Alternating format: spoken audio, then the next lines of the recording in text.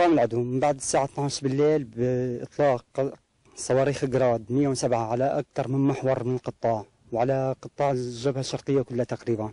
وإطلاق نار مستمر مع محاولة تسلل واقتحام من لمحور من المحاور المرابطين عليها الأخوة المجاهدين. بفضل رب العالمين نحن صديناه وما خلينا نتقدم. شيء لم ي... لم يلتزم بإطلاق النار أبدا أبدا أبدا. إلى هي الساعة تحسن تسمع صوت الاشتباكات؟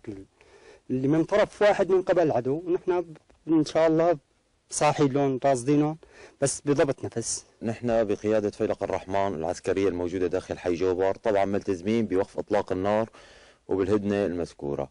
نحن من بعد الساعة 12 تقريبا اللي هو موعد الهدنة تم اختراق الهدنة من قبل قوات النظام على محورين بجوبر. هن استراتيجيات بالنسبة لنا. اللي هن محور عارفة ومحور طيبة برشقات وعدة قذائف صاروخية باتجاه الحي.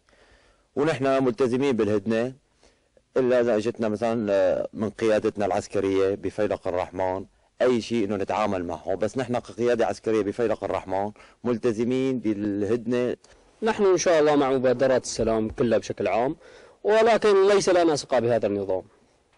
لا يمكن يعني أن نصدق ونحن على هب على أتم الاستعداد لصد أي هجوم من قبله. مثل ما قال لك الاخ يعني ما له مصداقية من من الصبح لهلا أكثر من عشر قذائف لحد الآن ومستمر بالقصف ويعني مصداقية ما في عنده أنتم طيب كثوار وكجيش إسلام رديتوا شيء على النظام وعلى اختراقاته؟ نحن لا نحن بس عم نسجل جرائمه